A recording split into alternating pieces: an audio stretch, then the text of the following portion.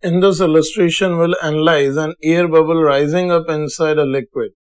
We are given that an air bubble of radius 1 cm rising at a steady rate of 0.5 cm per second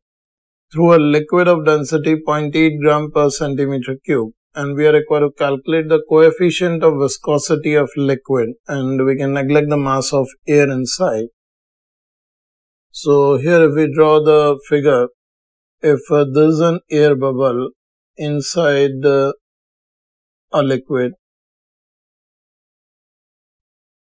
then here we are given that it is rising up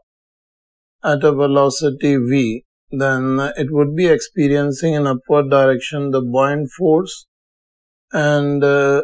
in downward direction it will be experiencing a viscous force on the surface of this air bubble and we can write for uh, steady speed of uh, air bubble here we use buoyant force on air bubble must be equals to the viscous force on it.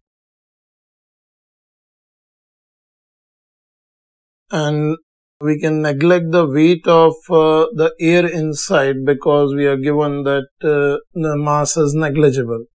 But still, whichever is the mass of this air bubble, we can consider the balance forces on it for it to be moving at a steady speed. And buoyant force is the weight of liquid displaced. So this can be written as uh, volume of uh, air bubble is 4 by 3 pi r cube multiplied by the density of liquid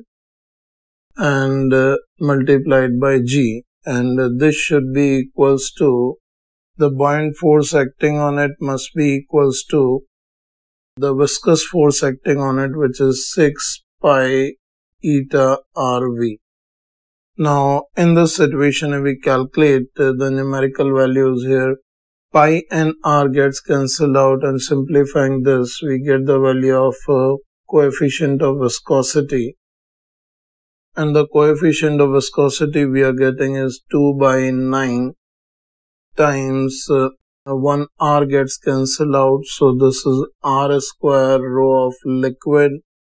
multiplied by g divided by the velocity of uh, air bubble with which it is rising up.